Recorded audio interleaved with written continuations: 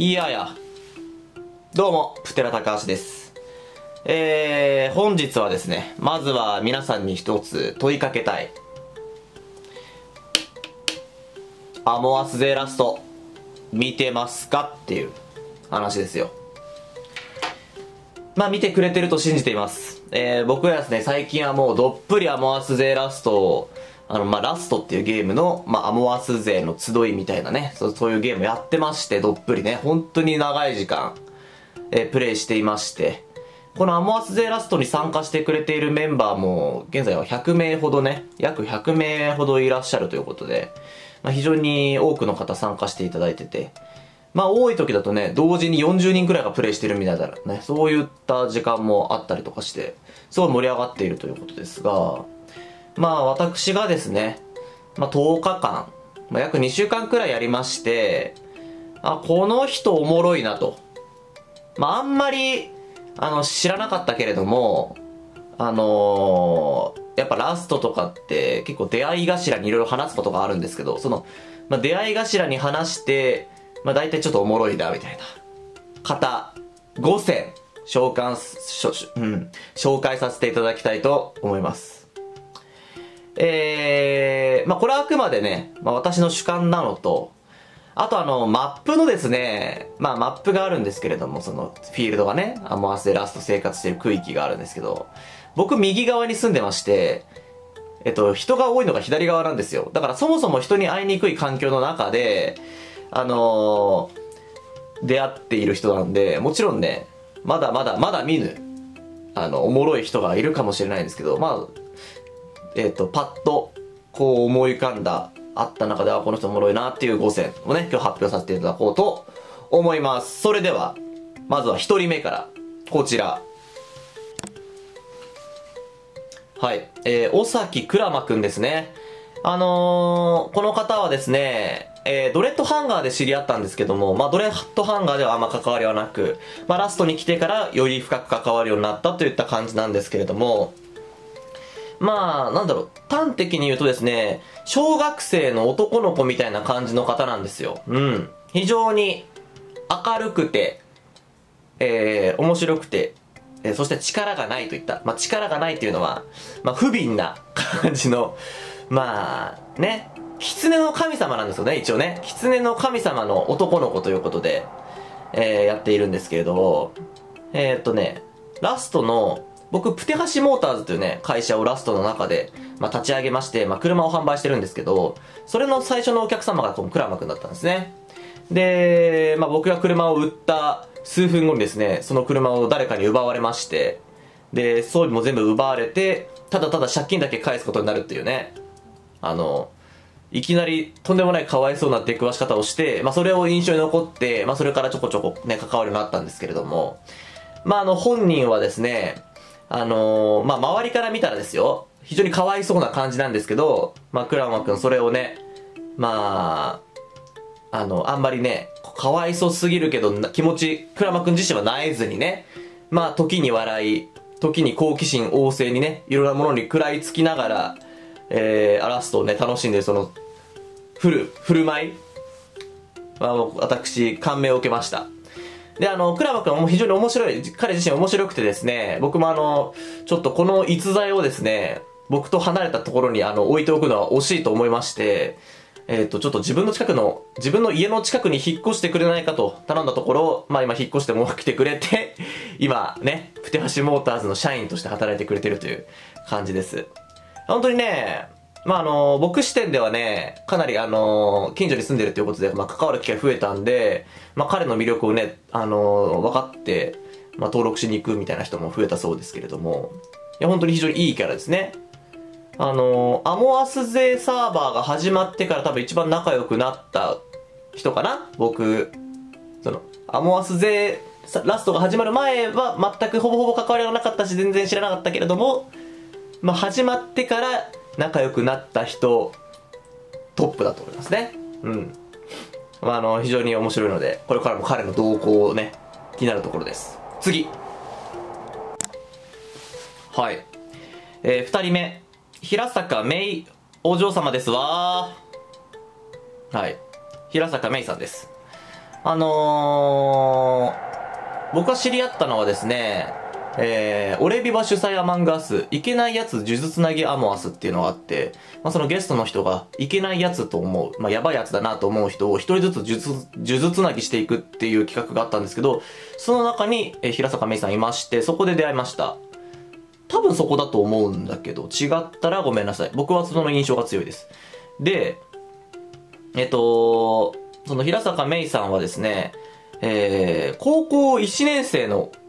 女の子ということで、高校1年生のお嬢様ということでですね、あの、やってらっしゃる個人税 VTuber さんなんですけど、まあ、とにかくね、ずっと喋ってるんですよ。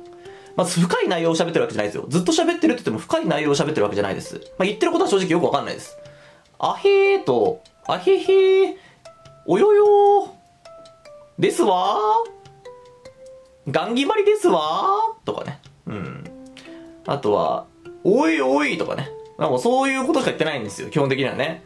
その5種類ぐらいの、あのー、内容でずっと回してるから、まあ、あの、正直何を言ってるかよくわかんないです。ただ、あの、それでもですね、まあ、やっぱずっと喋ってくれるから、まあきっとね、彼女のね、視聴者さんとかは、まあなんか面白いなとか、今日も面白いなとかって思ってるんじゃないでしょうか。あの、僕もね、今何言ってるかわかんないとか言ったんですけれども、まあ正直何言ってるかは本当にわかんないんですけれども、あのー、非常にね、彼女自身はこう、優しくてですね、寛容で、えー、そしてずっと喋っているから、周りも明るくなるという。うん。まあなんか、なんだろうな、意外とでもツッコミなのかなっていう。なんか一見何言ってるか分かんないから、ボケてるような感じなんですけれども、まあそれをいじられたらちゃんと突っ込んでくれるから、こう、こうなんかいじりがいがあるみたいなね、感じのことを思ってるんじゃないでしょうか。まああの、非常にね、優しくて、面白い方なのでですね、まあちょっとこれは、あのー、さっきのクラマ君同様ね、ちょっと遠くの方で苦しませるのはね、辺境の地に住んでたんで、ちょっともったいないなというところで、ちょっとぜひあの、プテラシモートンズ周辺に 住んでくれないかとお願いしたところ、まあ、引っ越してきてくれて、えー、まあ、バケユカがね、あの、僕最初の社員なんですけれども、あの、4人でね、今、モーターズやってますんで、うん。ちょっとあの、面白い方はね、積極的にあの、引っ越すように誘導してるんですけど、そのふ最後のね、その二人しかいなかったんですけど、その最後のうちの一人ですね。うん。まあちょっと今後も関わる気はありそうなんで、楽しみです。うん。非常に面白い方ですね。で、あのー、昨日ですね、あの、なんで、あの、お嬢様なのにそんなに会話が下品なのって、あの、普通に聞いてしまって、えー、すいませんでした、そのその説はね。うん。ちょっとなんか、その発言がね、あへーとかね、ガン決まりですわーとかね、ちょっとなんかちょっと、あのよ、よろしくない。やっぱ、お嬢様じゃ使っちゃいけないような言葉いろいろ言ってたんで、なんでなのか聞いたんですけど、あの、なんとなくだそうで、はい。自分で言いたいだけだだしね、親に強制されたとかじゃなかったんでよかったですね。はい、じゃあ次。はい。えー、続きまして、ゼルク・サンシア君ですね。はい。これあのー、視聴者の方はですね、もしかしたらあの、二人いるじゃんと思ってる方いますよね。ただあの、こちらね、あの、私の中ではですね、本当に申し訳ない。ゼルク・サンシアさんのあの、ファンの方。本当に区別がつかないんですよ。もう、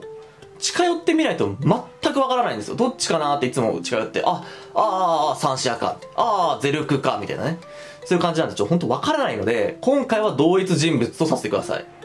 まあ、この二人はですね、あの、今はどうかわかんないですよ。ちょっとまあ数日前まではですね、あの、双子陣営とか言ってね、二、二人であの、一緒に共同生活をしてたみたいなんですけど、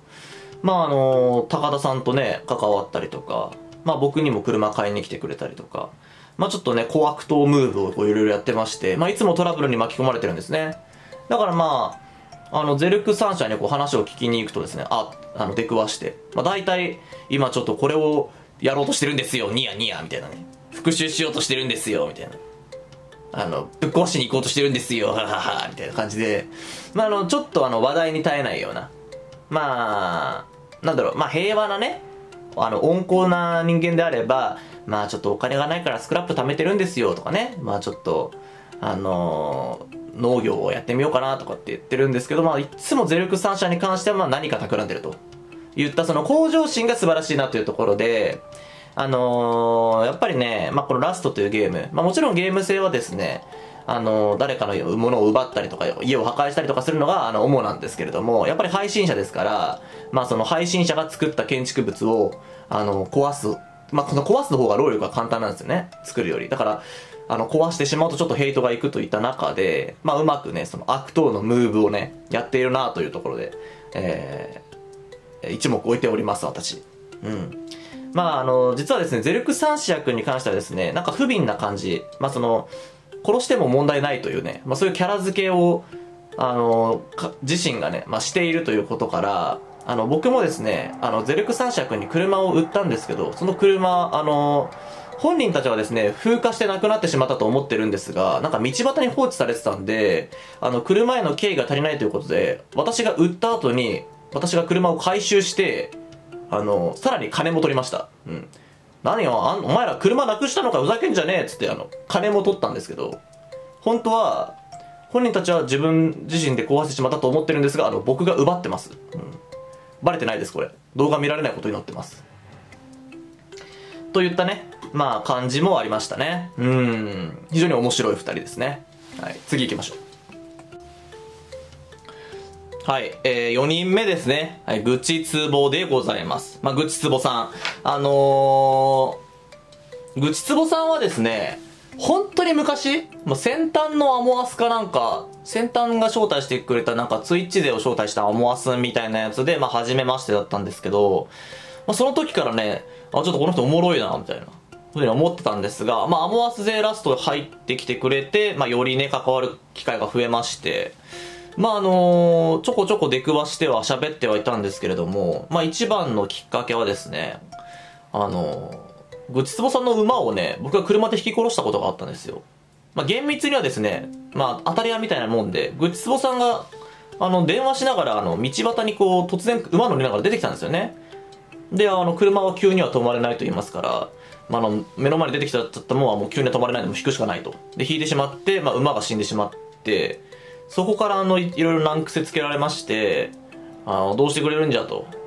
いうところで当たり明かしてしまったのがまあよく関わるきっかけのになった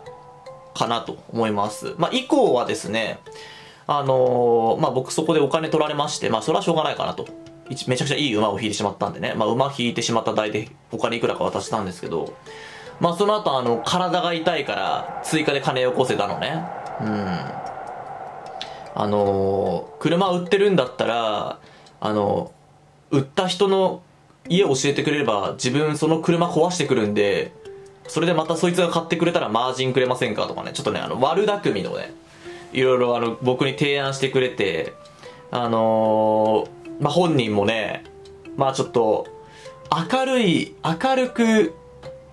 明るい悪党みたいなね、感じのムーブで、まあかといってね、あのー、節度を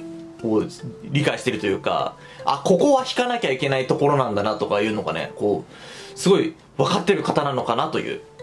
あのー、雰囲気も醸し出てて、まあ非常にだから多分ね、愚痴ツボ視聴者はですね、まあこう見ていてですね、あの、ちょっと派手な動きもしつつ、かといってやりすぎない、まあ見ていて安心するような感じなんじゃないかなと予想してます、僕は。うん。あの、噂に聞くとですね、あの、僕今年で26になるんですけれども、まあ、同い年らしいんですよね。なんで、あの、もしかしたら、あの、同級生かもしれないじゃないですか。まあ、天文的な確率ですけど、同級生かもしれないんで、今度地元聞きます。うん。ちょっとぜひね、これからも仲良くしていけたらなと思います。あんま同級生の、あの、同級生じゃない、同年代のね、同い年配信者いないんで、僕。1個上とかね、2個上は結構いたんですけど、いないんで、少ないんでね。あのちょっと注目です。次。はい。まあ悔しいんですけどね。この方の名前を挙げるのは。まあズズさんですね。うん。まあズズさん面白いですよ。まあ初めて出会ったのはどこだか正直覚えてません。えー、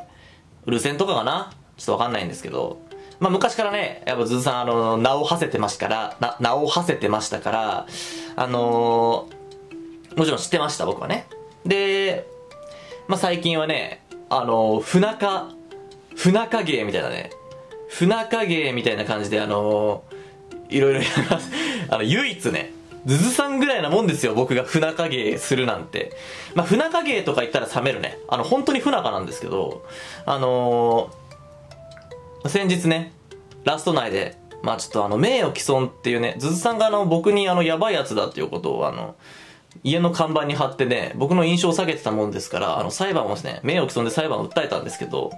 まあ、ちょっと負けてしまったんですけどね、あの、結局無罪になってしまって、あの、僕、何もあの、ズズさんから得れなかったんですけど、まあ、あの、そのね、ズズ裁、不定ズズ裁判、非常にあの、ドラマがあるような内容となっていたんで、ちょっとぜひ見てほしいです。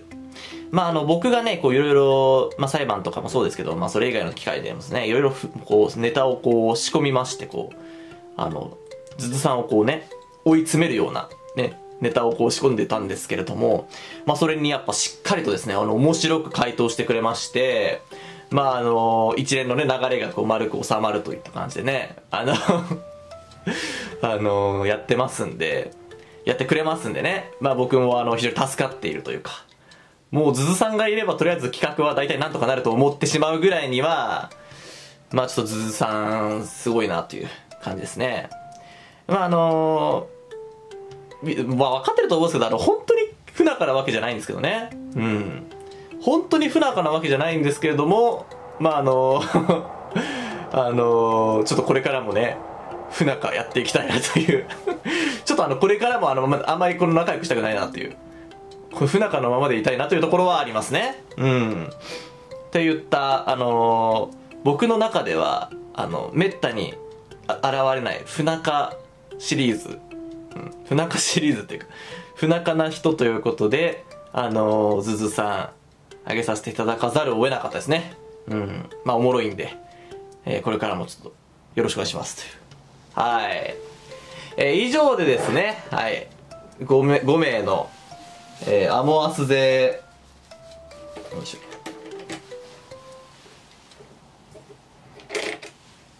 ょ。はい。以上でですね、アモアスゼラスト、出会ったら面白い人5選、え発表の方終わらせていただこうと思います。いかがでしたか？まあ、僕の視点ですよ。あくまでね。他の視点でもっとあの、いろいろ起こってるのは、それは間違いないんですけど、まあ僕がやってきた中で面白いなと思った方5選紹介させていただきました。うん。これからも皆さんよろしくお願いします。他の方もね、魅力を引き出せるように、ちょっといろいろ僕も関わっていけたらと思いますんで。はい。いろいろ知りたいです。それでは、